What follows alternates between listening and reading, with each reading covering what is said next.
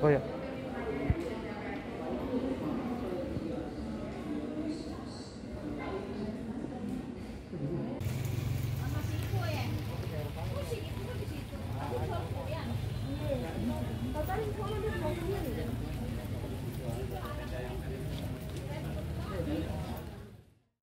Hari ini adalah eh, hari kedua untuk warga kami yaitu di RW 08 yang kemarin telah terkena kebakaran.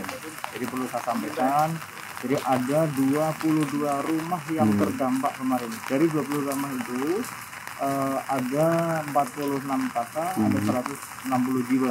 Nah hari ini eh, mereka sebagian ada yang di penampungan di musola Al Mukmin, ada juga yang mungkin eh, berada di rumah sanak saudaranya. Nah, kemudian ini hari ini adalah kita lakukan pembersihan. Dan pembersihan itu dilakukan oleh teman-teman PPSU, kemudian dari lingkungan hidup, semua dikoordinasikan oleh Pak Lurah. Karena apa? Eh, dari Pak Kapolsek sudah menyampaikan bahwa kalau memang itu mau dibersihkan, monggo silahkan.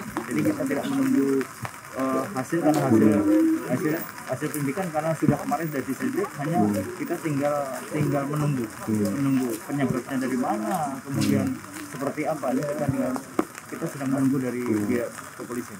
Pak Camat, untuk bantuannya sendiri seperti apa nih Pak Camat? Mungkin dari Camat atau Pak Lurah sendiri seperti apa? Jadi gini, Pak Lurah itu sudah membentuk eh, tim percepatan tentang penanganan eh, yang terkena musibah.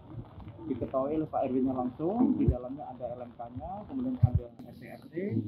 Jadi Pak Lurah hanya mengawasi semua penyaluran-penyaluran yang didapat dari pihak-pihak lain, seperti dari Polri, dari unsur masyarakat yang ada, tadi MUI, semua di full eh, melalui panitia, panitianya yang tadi ketuanya Pak RW, Nah, kemudian dari Pak RW itu ini salurkan kepada eh, warga yang terkena yang terdampak.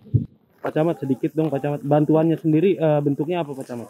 Bantuannya dari kemen dari dinas sosial itu berupa makanan, dari Basnas itu berupa dapur, Eh, terus kemudian dari BPBD itu berupa eh, patras, selimut dan lain sebagainya. Kemudian ada lagi berupa sembako yaitu dari pihak eh, Polri dan pihak-pihak lain yaitu dari Polri.